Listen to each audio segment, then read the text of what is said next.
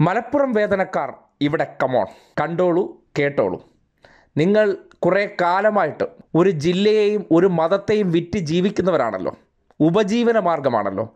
പാവപ്പെട്ട മനുഷ്യരെ പച്ച കള്ളങ്ങളും മതവും പറഞ്ഞു. അതിലൂടെ നിങ്ങളുടേതായ നേട്ടങ്ങൾക്ക് വേണ്ടി ഉപയോഗിച്ചു കൊണ്ടിരിക്കുന്നവരാണല്ലോ.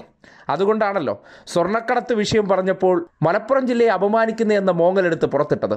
സ്വർണത്തെക്കുറിച്ച് പറയുമ്പോൾ അല്ലെങ്കിൽ സ്വർണം പിടിച്ച കരിപ്പൂർ എയർപോർട്ടിരിക്കുന്ന മലപ്പുറം ജില്ലയെക്കുറിച്ച് പറയുമ്പോൾ സമുദായത്തെ ആക്ഷേപിക്കുന്നേ ജില്ലയെ ആക്ഷേപിക്കുന്നേ ചാപ്പ കുത്തുന്നേ എന്ന മോങ്ങൽ നടത്തുന്നവരുടെ യഥാർത്ഥ ചരിത്രമെന്തെന്ന് കഴിഞ്ഞ ദിവസം മാതൃഭൂമി ചാനൽ ജയിക്ക് വലിച്ചൊന്ന് പുറത്തിട്ടിട്ടുണ്ട്. അത് ചെറിയ ഇമ്പാക്റ്റല്ല ഉണ്ടാക്കാൻ പോകുന്നത്? കഴിഞ്ഞ കുറേ കാലമായിട്ട് ഒരു മതവിഭാഗത്തെ ഉപയോഗപ്പെടുത്തിക്കൊണ്ട് അവരെ ചൂഷണം ചെയ്ത് ജീവിച്ചുകൊണ്ടിരിക്കുന്ന ലീഗന്മാർക്കും ഒപ്പം ജമാത്ത് ഇസ്ലാമി മൗദൂദി സുഡാപ്പി ടീംസുകളെ എല്ലാത്തിന്റെയും കരണം പുകയ്ക്കുന്ന മറുപടിയാണ് ഇന്നലകളിൽ ഇതിന്റെ മറ പിടിച്ച് ഇവർ ചെയ്തു കൂട്ടിയ പ്രവർത്തനങ്ങളെക്കുറിച്ച് എണ്ണി എണ്ണി വലിച്ചു വാരിയെടുത്ത് വെളിയിട്ടപ്പോൾ ലീഗ് നേതാവും കോൺഗ്രസ് നേതാവും ആ ചർച്ചയിലിരുന്നിട്ട് തല ചൊറിഞ്ഞു പോകുന്ന അവസ്ഥയിലേക്ക് എത്തി ബിനു എന്ന് പറയുന്ന ഈ ഈന്തുള്ളത്തിൽ ഒരു ചെറുപ്പക്കാരൻ നിങ്ങൾ വെട്ടിക്കൊലപ്പെടുത്തിയില്ലേ? അന്ന് വർഗീയ കലാപം ഉണ്ടാകേണ്ടതല്ലായിരുന്നോ? ആരാണ് നഷ്ടം സഹിച്ചത്? ഞങ്ങളാണ്. കേരളത്തിലെ ഇടതുപക്ഷമാണ്. ഒരു മുസ്ലിം സ്ത്രീയെ അഞ്ച് മിനിറ്റ് കൊണ്ട് ഏതാണ്ട് കേരള രാഷ്ട്രീയ ചരിത്രത്തിന്റെ ഒരു പകുതിയോളം താങ്കൾ പറഞ്ഞു. മലപ്പുറം ജില്ല രൂപീകരിച്ചത് കമ്മ്യൂണിസ്റ്റ് മന്ത്രിസഭ ഇ എം എസ് എന്ന മുഖ്യമന്ത്രി.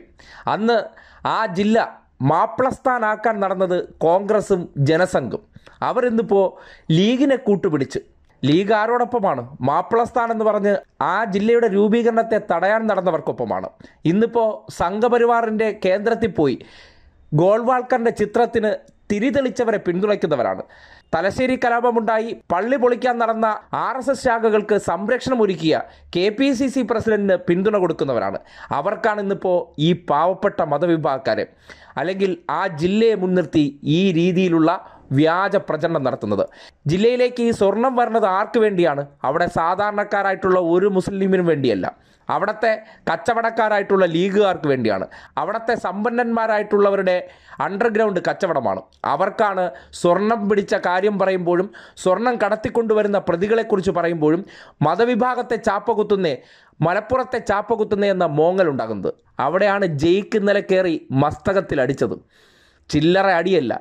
അടിച്ചത് ലീഗിനെയും കോൺഗ്രസിനെയും ആണെങ്കിൽ അവസാനം അത് കൊണ്ടത് അവതാരകനാണ്. അവതാരകൻ ഇരുന്ന ഇരിപ്പിലിരുന്ന് ഒന്ന് തുള്ളിപ്പോയി. കാര്യം വിളിച്ചിരുത്തിയിട്ട് അവരുടെ പുറംമൂച്ച് പുറത്തു വരികയാണെങ്കിൽ അതിന്റെ ആഫ്റ്റർ എഫക്ട്സ് ആർക്കും ഉണ്ടാകും അവതാരകനും ഉണ്ടായിപ്പോകുമോ എന്ന തോന്നലാണ് ആ സന്ദർഭത്തിലെ ഇടപെടൽ കാണുമ്പോൾ തോന്നുന്നത്. എന്തായാലും ജയിക്കിനെ അഭിനന്ദിക്കാതിരിക്കാൻ തരമില്ല.